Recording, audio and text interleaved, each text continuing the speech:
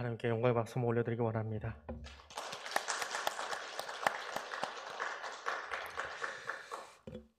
일, 이, 삼부 찬양하시는 분들 찬양의 제목이 다 은혜인 것 같아요. 이들을 사랑하는 것이 하나님의 은혜가 아니면 전혀 생각해 볼 수 없는 그런 때를 살고 있습니다. 찬양 감사하고 이정표 집사님 독창을 오랜만에 듣는데 가슴이 다 뚫리네요. 네. 하나님이 그 은혜로 우리의 가슴을 우리 막힌 모든 땅들을 열어 주시길 원합니다. 오늘 우리에게 주신 말씀은 마태복음 26장 42절 말씀입니다. 신약성경 47쪽에 있습니다. 우리 한 목소리로 같이 읽겠습니다. 다시 두 번째 나아가 기도하여 이르시되 내 아버지여 만일 내가 마시지 않고는 이 잔이 내게서 지나갈 수 없거든 아버지의 원대로 되기를 원하나이다 하시고 아멘. 오늘은 일제 강점기에서 해방된 지 76년째 되는 주일입니다. 식민 통치의 아픔이 무엇인가 하는 그 역사를 통해서 우리에게 주기 원하셨던 교훈이 무엇일까라는 것을 한 번 더 생각해 보게 됩니다. 여기 앉아 있는 분들 중에 일제 강점기를 사셨던 분들은 없는 것 같습니다. 우리 아버지 세대나 할아버지 세대가 경험했을 우리는 드라마나 영화로만 보았던 세대이지요. 아, 일본의 압제를 당한 그 30여 년의 시간이 얼마나 힘들었으면 올림픽 때 일본은 무슨 수를 써서라도 이겨야 된다라고 핏줄이 터지면서 그렇게 경기를 해야만 할까요? 그런데 우리는 죄의 통치 아래 있으면서 그 죄와 얼마나 피 터지게 싸우고 있는가라는 생각을 해보게 됩니다. 일제 강점기라고 하는 것이 단지 우리의 역사만의 이야기가 아니라 죄와 싸우고 있는 우리의 영적 전쟁을 우리는 어느 정도로 힘있게 감당하고 있는지 다시 한번 생각해 보아야 할 것입니다. 일제 강점기 시간 동안 우리의 이름을 우리의 언어를 다 사용하지 못하고 살았던 사용해야 되는데 사용하지 못했던 딜레마에 빠져 있던 그 우리의 선진들 말입니다. 선택해야 하는 길은 두 개뿐인데 그 어느 쪽도 바람직하지 못한 결과를 초래하는 상황을 일컬어서 딜레마라고 합니다. 그리고 딜레마에 빠졌다라고 하지요. 국어 사전에서는 딜레마라는 외래어 쓰지 말고 궁지에 빠졌다라는 말을 쓰라는데 이미 우리 언어가 돼버린 거면 굳이 그거를 그렇게 한쪽으로 몰아갈 필요가 있을까? 조금 더 지나면 아마 지금 은어들을 국어사전에 등재하는 것처럼 딜레마도 우리의 그냥 한 언어의 축을 담당하지 않을까라는 생각도 해보게 됩니다. 오늘 설교 제목 읽으시면서 이게 뭐야 하시는 분들이 있을 것 같아요. 일부 끝나고 나니까 장로님 한 분 더 하나님도 딜레마가 있나 그러셨다는데 잘 보세요. 딜레마가 아니지요? 델레마입니다. 델레마라고 하는 이 단어는 원, 소원, 바람, 바랄 원자입니다. 소원. 우리말로는 원혼 뜻이라고 하는 단어로 번역을 했습니다.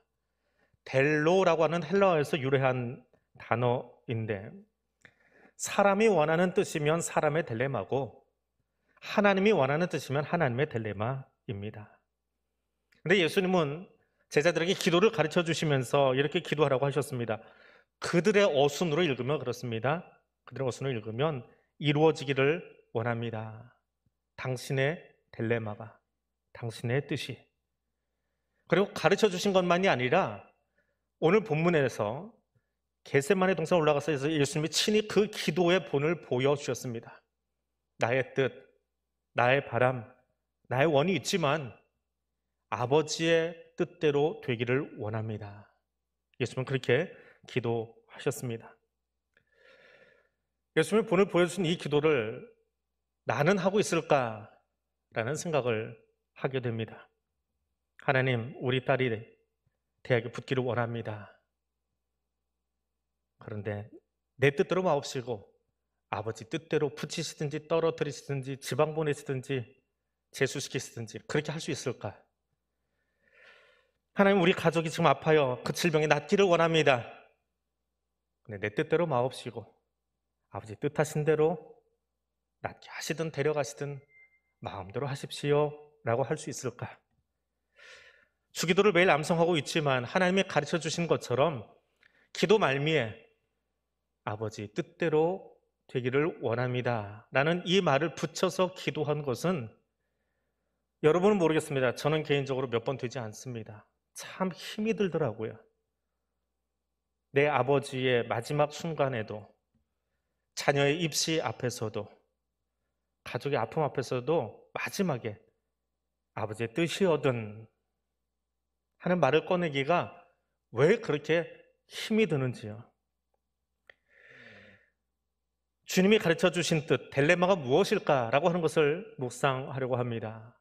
그 처음은 하늘에서 완성된 하나님의 델레마입니다. 하나님의 델레마가 무엇이냐, 하나님의 뜻이 무엇이냐, 간단하게, 간단하게 정의만 한 가지 내리고 넘어간다면 그것은 하나님께 속한 백성들의 안녕입니다. 안녕하세요 라고 인사하지요. 안녕, 평안함, 편안함. 하나님의 백성들이 누리는 평안함이 하나님의 딜레마예요. 우리가 편안하길 원하시는 거예요. 하나님 만든 피두새가 편안하길 원하시는 거예요. 그게 하나님의 딜레마입니다. 하나님의 거룩한 사랑 안에서 안녕한 삶을 살기 원하는 것이 하나님의 딜레마입니다. 그러면 첫 번째 이야기입니다. 우리의 안녕을 원하시는 분이 누군가요? 하나님이시지요. 그 하나님은 어떤 분이십니까? 여러분이 아는 대로 전지전능하신 분이고 무소부재하신 분이고 사랑의 하나님이고 은혜가 충만하신 하나님이고 맞습니다. 그런데 그런 전지전능하신 하나님은 누가 요청해야만 자기 백성에게 안녕의 삶을 보장해 주실 수 있는 건가요? 21세기 대한민국은 대통령제라고 하는 정치 체계 아래에 있습니다. 21세기 정치 체계, 대통령제 아래서 살아가는 우리들은 성경의 배경이 되는 1세기의 세상을 이해할 수가 없습니다. 저도 설교를 준비하기 위해서 책을 열고 준비를 하지만 그들이 살았던 시대의 사람들만큼 그렇게 강력하게 전능하다라고 하는 말을 깨닫기가 참 힘이 들어요. 왜냐하면 대통령제 아래 살고 있기 때문에 그래요. 이 성경은 왕권 체계, 왕정 체제 아래서 쓰여진 책입니다. 왕의 권한 아래 살고 있던 백성들이에요. 우리 옛 역사 속에는 조선의 왕들이 있습니다. 고려보다는 조선을 좀 더 많이 기억을 하죠. 근데 조선의 왕들은 왕정 체계이긴 하지만 세계의 다른 나라의 왕정 체계와 비교해서 좀 다른 왕정 체계를 가지고 있어요. 절대 군주가 아닙니다. 의정부의 이야기를 듣고 그 이야기에 반응을 해줘야 되는 왕이에요. 어떻게 보면 의정부의 눈치를 봐요. 약할 때는 눈치 본다 표현하고 강할 때는 의정부의 의견을 참고하며 살아가요. 이게 조선의 왕입니다. 그런데 성경의 배경이 되는 팔레스타인 중동의 왕들은 그렇지 않습니다. 누구도 그 왕에게 말할 수 없습니다. 왕이 하자고 하는 대로 말하면 그만해요. 거기는 의정부 같은 게 없습니다.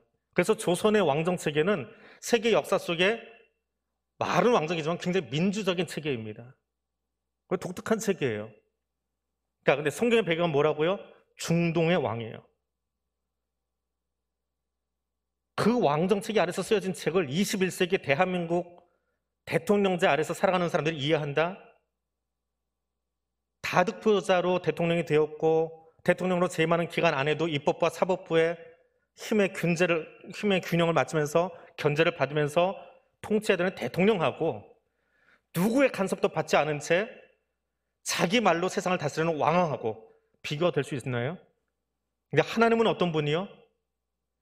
그 모든 왕들의 중동을 포함한 모든 왕들 위에 계신 하나님 그것이 만군의 여호와라고 하는 단어입니다. 그분이 누구의 간섭을 받습니까? 누구의 말을 참고하여 통치합니까? 아니요. 아무도 할 수 없어요. 모든 왕의 왕이신 하나님 그 하나님께서 우리가 하나님 하나님의 마음이 이루어졌으면 좋겠습니다. 하나님의 뜻이 이루어졌으면 좋겠습니다라고 말해야만 그 뜻이 완성되겠느냐라고 하는 거예요. 아니지요. 우리가 원하든 원하지 않든, 우리가 말하든 말하지 않든, 우리가 기도하든 기도하지 않건 상관없이 하나님은 하나님의 딜레마를 계획하시고 진행하시고 완성하신다는 거예요. 주기도를 할 때에 우리가 기억해야 될 것은 그것입니다.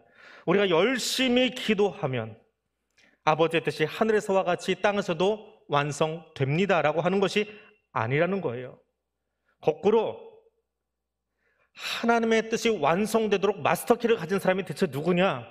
기도하는 우리가 아니라 하나님 그분이시라는 거예요. 누구의 간섭도 받지 않은 채 하나님의 델레마를 계획하고 진행하고 완성시키실 수 있는 분인데 왜 굳이 제자들에게 너희는 이렇게 기도해라 아버지의 뜻이 하늘에서 완성된 것처럼 이 땅에서도 완성되게 하여 주시옵소서라고 기도하라고 가르쳤느냐라고 하는 거지요.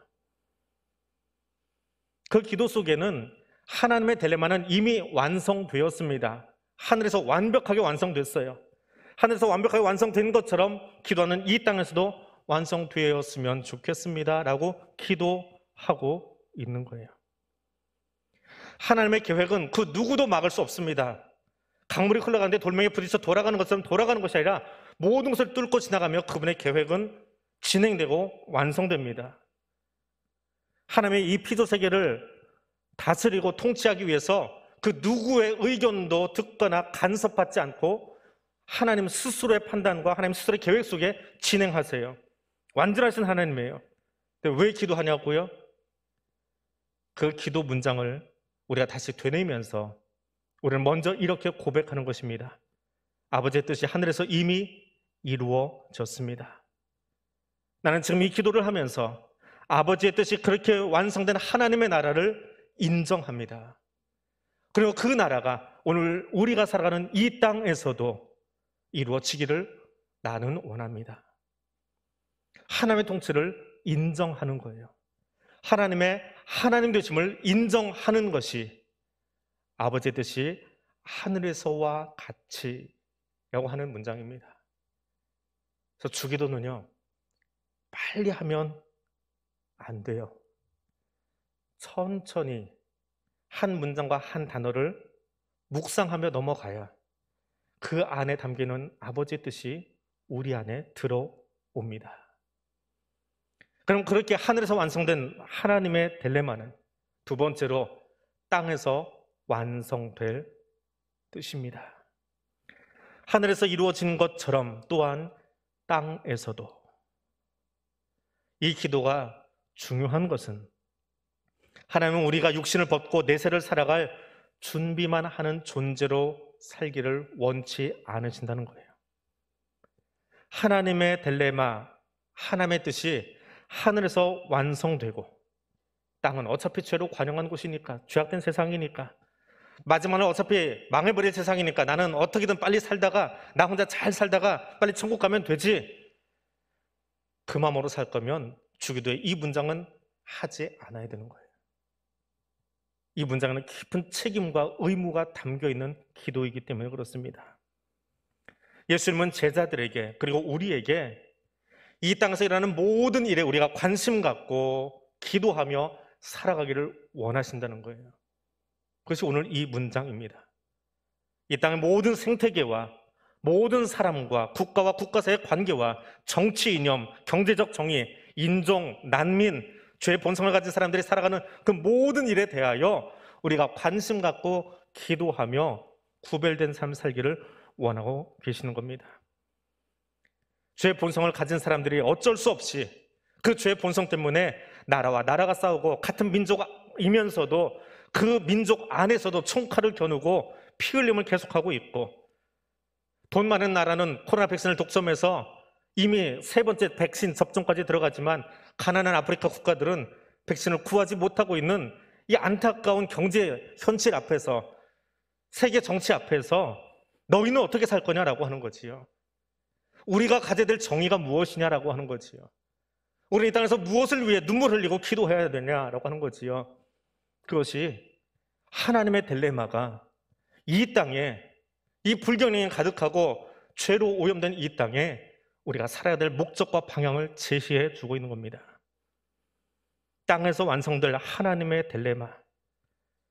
하나님은 땅에 사는 모든 사람, 모든 피조 세계가 하나님 안에서 안녕의 삶 살기를 원하십니다. 죄 노예가 돼서 나 어떻게 그냥 잘 살다가 병 안 걸리고 조용히 살다가 저 오염되지 않고 나만 구별돼서 예배 잘 드리다가 떠나면 그만이지라고 하는 그런 삶이 아니라 내 뜻만 열심히 주장하고 다른 사람의 뜻은 안중에도 없는 그런 죄로 가득한 세상 속에 사는 것이 아니라 우리는 그렇게 살던 사람들의 모습을 성경에서 이미 여러 번 보았습니다. 자기 이름을 세상 가운데 널리 드러내고 싶어서 탑을 올립니다. 여기 벽돌 좀 갖다 줘라고 이야기하는데 네 말은 네 말이고 나는 망치 갖다 주고 있어요. 언어가 안 통한다라고 하는 것이 아니지요. 뜻이 안 통하는 거지요. 이름을 세상에 드러내고 싶은 욕심은 있지만 서로의 뜻, 서로의 생각, 서로의 언어는 관심이 없습니다. 내 것만 주장하는 거예요. 내 목소리만 내는 거예요. 그게 바벨탑이거든요. 나의 딜레마, 나의 뜻이 완성되기 원하는 곳에서 타인의 안녕, 타인의 평안에는 관심이 없습니다. 근데 하나님 우리에게 어떻게 기도하라고 가르치셨어요? 그런 바벨탑 쌓는 세상 가운데서 나라와 나라가 안녕하고 민족과 민족이 안녕하고 백성과 백성들이 인종과 지연과 학연과 나라를 다 떠나서 무엇에도 구애받지 않고 오직 예수 그리스도 안에서 안녕할 수 있는 그런 나라를 만들도록 네가 살아가라 라고 요청하고 있는 것입니다. 그래서 하나님의 뜻, 하나님의 딜레마는 우리 안에 없습니다. 아니, 우리의 생각, 우리의 지성, 우리의 이성으로는 하나님의 딜레마를 다 알 수도 이해할 수도 묘사할 수도 없습니다. 근데 우리는 종종 아니 어쩌면 저는 그렇게 대부분의 기도를 그런 문장으로 사용하는 것 같습니다. 내가 아는 짧은 이성과 짧은 지성을 가지고 하나님 이렇게 되기를 원합니다. 이렇게 되기를 믿습니다. 그 이렇게가 누구의 딜레마입니까? 하나님의 딜레마입니까? 나의 딜레마입니까? 하나님이 원하시는 뜻입니까? 아니면 나의 정치 딜레마입니까? 나의 이성의 딜레마입니까? 다시 물어보아야 할 것입니다. 한 번쯤은 어선한 전국을 바라보면서 우리는 이렇게 이야기합니다. 이 시대 젊은이들이 정신이 없다고요. 어떻게 일궈 놓은 나라인데 저 아이들에게 이 나라 맡기면 망했어. 이 나라는 망했어. 불안해. 말세야. 해보셨지요? 저만 해봤나요? 네, 여러분, 이 말이 언제 등장했는지 아십니까? 로마 제국 시절에도 있었고요. 세계 경제 대공황 시절에도 이 말은 있었고요. 21세기 대한민국에도 있습니다. 역사의 흐름을 보면, 역사책을 열어보면 소망을 가졌던 시기보다 절망의 시기가 훨씬 더 많이 있습니다. 젊은이들만 그렇습니까? 나라와 나라가 싸우는 거 보면, 아니, 같은 민족끼리 싸우고 있는 그 꼴 보면, 거기 소망이 있습니까? 근데 기억하십시오. 우리는 역사라고 하는 이 배가 우리의 파괴 본능, 우리가 가져오는 공포와 비극의 와중에서도 하나님 뜻하시는 방향으로 가고 있다는 거예요. 우리가 어떻게 하든지 간에 우리의 죄로 말미암아서 서로 아프게 하고 총칼을 겨누고 있어도 하나님이 원하시는 그 딜레마는 한 번도 포기되거나 좌절되지 않은 채 진행되고 있다는 사실을 믿어야 한다는 겁니다. 하나님의 딜레마가 이 땅에 완성되기 위해서 단 한 번도 역사 속에서 멈춘 적 없습니다. 단지 죄악을 범한 인간들이 세상 욕심 때문에 아픔 역사를 써 내려가고 있는 것 뿐이지요. 왜냐하면 하나님의 딜레마는 특정한 사상이나 특정한 나라나 특정한 사람이 아니기 때문에 그렇습니다. 그래서 우리는 이 주기도를 하면서 그 나라가 임하도록 하나님의 통치가 이 땅에 임하도록 믿음과 확신 가운데 이렇게 기도하는 겁니다. 이루어지길 원합니다. 아버지의 뜻이 하늘에서 완성된 것처럼 지금 여기 내가 사는 땅에서도 이루어지길 원합니다. 그리고 그 문장을 읽고 난 뒤에 우리는 마음속에 이렇게 결단해야 됩니다. 주여, 나의 눈이 나 개인과 내가 속한 공동체 필요만 챙기는 안목을 뛰어넘어서 세대와 역사를 관통하는 변함없는 그 하나님의 뜻을 볼 수 있기를 원합니다. 변함없은 하나님의 마음을 내 가슴에 새기기를 원합니다. 나의 안녕이 아니라 하나님의 안녕을 이 땅에 선포할 수 있기를 원합니다. 그 하나님의 안녕으로 하나님의 평안으로 이 땅이 회복되기를 원합니다. 이 마음이, 이 결단이 이루어지길 원합니다. 아버지의 뜻이. 이 기도를 하는 우리의 기도 자세입니다. 그리고 주님은 기도를 가르치는 것뿐만이 아니라 오늘 우리에게 그 기도의 본을 보여주셨습니다. 본문의 십자가를 목전에 둔 예수님의 기도 현장입니다. 제대로가 떨어지셔서 한켠에 가셔서 예수님은 이렇게 기도합니다. 아버지여, 만약 할만하시거든 이 잔을 내게서 지나가게 하옵소서.